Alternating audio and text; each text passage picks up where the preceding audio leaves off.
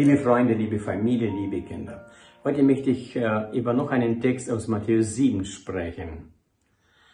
Geht ein durch die enge Pforte, denn die Pforte ist weit und der Weg ist breit, der zur Verdammnis führt.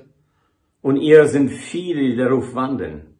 Und die Pforte ist eng und der Weg ist schmal, der zum Leben führt. Und wenige sind ihr, die ihn finden. Schaut mal, wie interessant. Es ist ein breiter Weg. Viele Menschen gehen diesen Weg. Aber es gibt einen engen Weg. Und da gehen nicht so viele.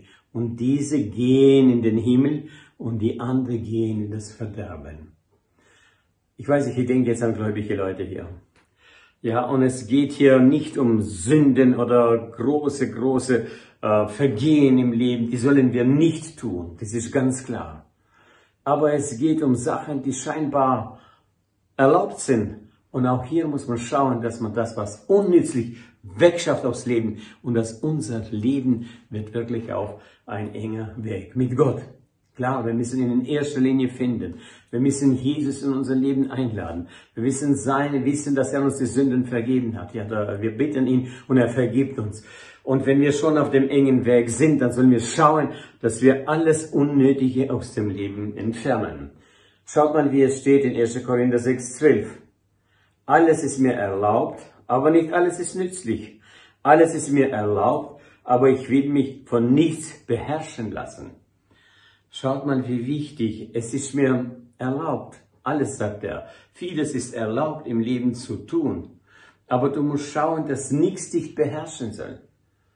Nichts soll also dich befehlen, ich muss es tun. Ich will es gar nicht, aber ich, äh, ich muss es irgendwie tun und tue dann. Nein, ich muss es dann aus dem Leben weg tun. Zum Beispiel mit Internet. Ja, es ist eine wichtige Sache heute. Internet. Wir können da viele Informationen finden. Wir können da auch, auch sehr nützliche Sachen für uns finden und auch benutzen Internet, um den anderen die frohe Botschaft zu sagen.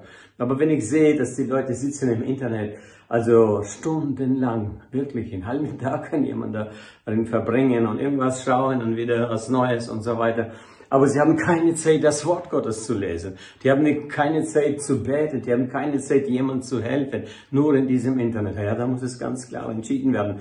Und das also weggetan aus dem Leben. Nur so viel, wie viel wir brauchen, um auch wirklich das Internet zu nutzen, jemand die frohe Botschaft sagen oder auch das Notwendige zu holen. Ja, viele Sachen sind hier, die, äh, die so wichtig sind. Schaut mal weiter, sagt der Apostel Paulus, 1. Korinther 10, 23. Es ist mir alles erlaubt, aber es frommt nicht alles. Es ist alles erlaubt, aber es erbaut nicht alles. Ich äh, schaue so zu und sehe eigentlich, ähm, ich mache etwas, aber es erbaut mich nicht. Es hilft mir nicht weiter in meinem geistlichen Leben. Oder ich sehe, wenn jemand hat viel Arbeit, wir müssen auf die Arbeit gehen. Auf jeden Fall für mich war es immer wichtig, auf die Arbeit gehen, Geld verdienen, um meine Familie zu ernähren, um auch den anderen zu helfen. Aber wenn du siehst, er arbeitet hier, diese Arbeit nimmt sich noch eine und noch eine. Und ähm, manchmal ist es gar nicht, weil es gar kein Geld mehr da gibt. Aber man will noch mehr und mehr und mehr haben. Ja, dann sagt man nein. Oder ähm, ich weiß, ich habe gehört von diesem Sportler, der war eine ganz große Berühmtheit in Amerika, glaube ein, ein Sprint hat er, also die kurze Distanzen so schnell gesprungen ist. Und da war ein ganz wichtiges Wettbewerb am Sonntag. Und er sagt, ich gehe nicht. Es war also etwas ganz Wichtiges auf der Landesebene. Und da wurde ihm also von hohen Instanzen gekommen. Er sagt dann, ein Sonntag ist für Gottesdienste. Man ist nie gegangen. Später hat er trotzdem den Titel gewonnen. Aber es ist ganz wichtig zu sagen können, also äh, ich kann kommen, aber ich gehe nicht. Ich gehe einen engen Weg mit Gott. Und da muss ich am Sonntag jetzt auch in der Versammlung sein.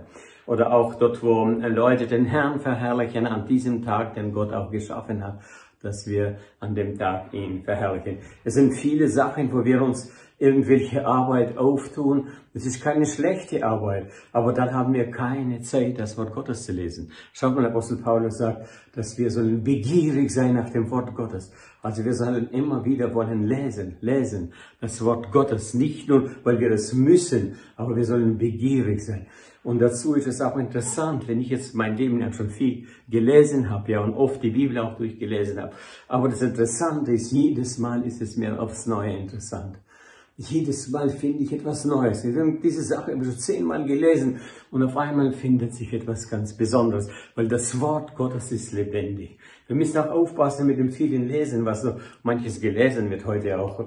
Anfangen an den Zeitungen, Zeitschriften und so weiter. Die Bibel soll wirklich das Wichtigste sein, wo wir lesen. Auch wichtiger als alle anderen Bücher, auch theologische Bücher. Es muss immer wieder die Bibel sein, am meistgelesenes Buch in deinem Leben. Und ich denke immer wieder auch das Neue Testament. Für mich ist es ganz wichtig, dass ich äh, mindestens dreimal das Neue Testament lese und einmal das Alte. Mir ist wichtig, dass ich wirklich, weil ich lebe im Neuen Testament, Jesus formt mein Leben. Es ist ganz wichtig, dass wir so Zeit nehmen, immer wieder die Gesinnung Jesu mir nahezubringen. Das ist ein enger Weg, der wird dich formen. Du wirst nicht Sachen machen, die von dem breiten Weg. Du wirst mit Jesu gehen, den engen Weg. Gott segne dich und mich. Amen.